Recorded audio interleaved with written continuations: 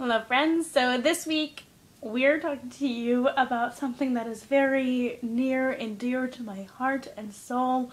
One of the best relationships I've ever had, one of the longest relationships I've ever had, food. This may look a little bit odd to you, but this is one of my favorite comfort foods. We have two slices of Udi's gluten-free bread right there.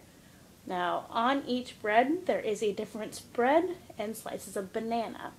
So on this one right here is a gluten-free, casein-free, vegan Nutella. It's Justin's chocolate hazelnut spread. And on this one right here is Justin's gluten-free, dairy-free, vegan almond butter, which is delicious. If any of you have not enjoyed almond butter before, give it a shot. I highly, highly recommend it.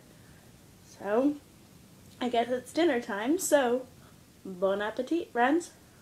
I should probably tell you that I did add a secret ingredient, and that is salt. I am a huge salt fiend, so I sprinkled a little bit on top of each to get a little extra sodium because I'm weird. Let me know down in the comments if you try Justin's and if you like it, or if you like regular Nutella and a different type of almond butter, or if you like the peanut butter company, the di different type of gluten-free bread. My cat is chasing her tail right now and it's really distracting me.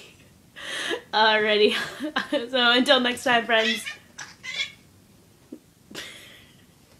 she got it! Hearts off and have a happy happy Monday. Bye.